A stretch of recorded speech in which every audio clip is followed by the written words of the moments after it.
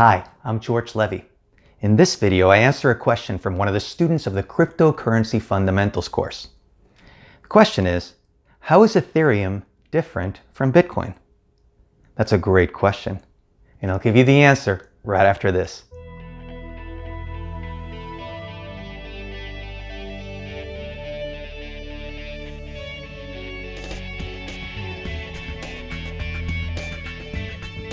Let's discuss the differences between Ethereum and Bitcoin. Beyond price, Ethereum and Bitcoin are completely different cryptocurrencies and they serve different purposes. In this video, I will give you the differences and you'll understand exactly how Ethereum and Bitcoin are completely different cryptocurrencies serving different purposes. Let's start first with Bitcoin.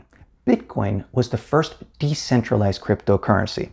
If you look at the original white paper, the vision for Bitcoin was to create a peer-to-peer electronic cash system.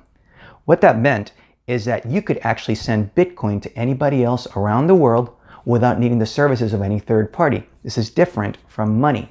Whenever you send money to anybody else, you need to enlist the services of a third party, such as a bank or a credit card.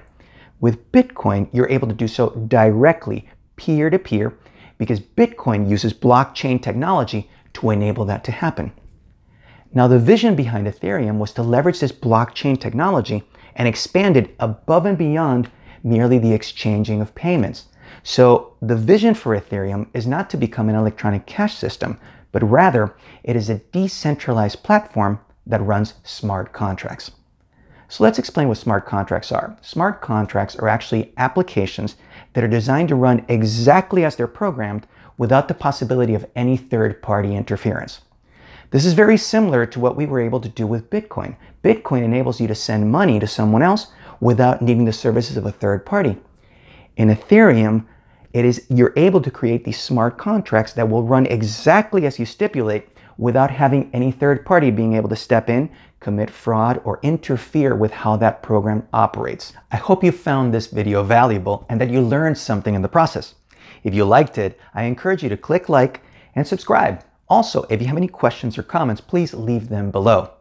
Until next time, we are changing the world one blockchain at a time. I'm George Levy. Thank you for watching.